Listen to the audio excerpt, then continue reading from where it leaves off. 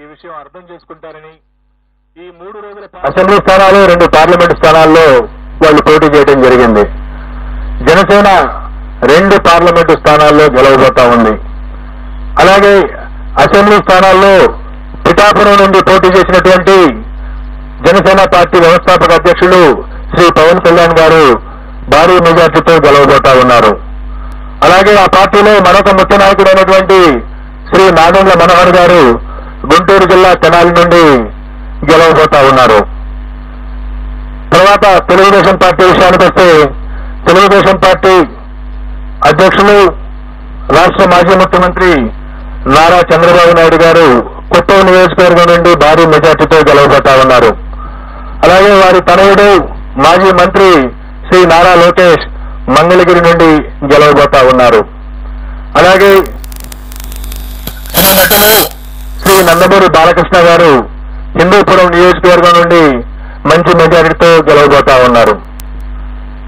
ఈ విధంగా ప్రతిపక్ష పార్టీలకు సంబంధించి ముఖ్య నాయకుల విషయాన్ని చూసుకున్న తర్వాత ఆంధ్రప్రదేశ్ అధికారంలో ఉన్నటువంటి వైఎస్ఆర్ కాంగ్రెస్ పార్టీ యొక్క మంత్రివర్గంలో అనేక మంది మంత్రివర్గ సభ్యులు తీవ్రమైనటువంటి పోటీ ఎదుర్కొంటున్నారు. కొద్దిమంది ఓటమి చవి చూడబోతా ఉన్నారు. ఇందులో ముఖ్యంగా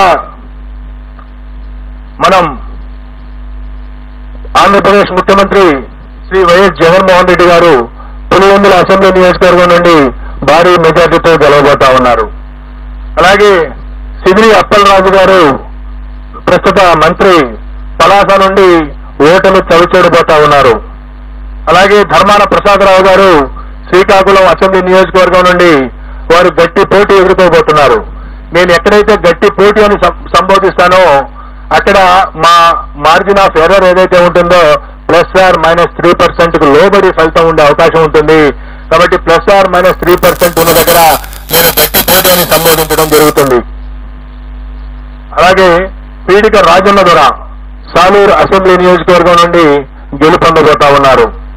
అలాగే బొత్స సత్యనారాయణ గారు మాజీ ప్రస్తుత మంత్రి మాజీ పిసిసి అధ్యక్షులు చీపురుపల్లి అసెంబ్లీ నియోజకవర్గం నుండి మంచి మెజారిటీతో గెలుపొందబోతా ఉన్నారు. అలాగే గుడివాడ అమర్నాథ్ గారు రాష్ట్ర ఐటీ శాఖ మంత్రులు గుడివాడ అమర్నాథ్ గారు గతంలో అనకాపల్లి నుండి ప్రాతినిధ్యం వహించారు. ప్రస్తుతం గాజువాక నుండి పోటీ చేస్తున్నారు. వారు ఓటమి చవి చూడబోతా ఉన్నారు. అలాగే పిలిపి విశ్వరూప్ గారు వారు అమలాపురం శాసనసభ నుండి పోటీ చేస్తున్నారు. వారు గెలవబోతా ఉన్నారు. అలాగే కారుమూరి నాగేశ్వరరావు గారు వారు తణుకు నుండి ప్రాతినిధ్యం వహిస్తా ఉన్నారు. వారు రాష్ట్ర మంత్రి. వారు ఓటమి చవి ఉన్నారు. అలాగే చెల్లిపోయిన వేణుగోపాల్ గారు రాజమండ్రి రూరల్ నుండి ప్రాతినిధ్యం వహిస్తా ఉన్నారు. మంత్రి వారు కూడా ఓటమి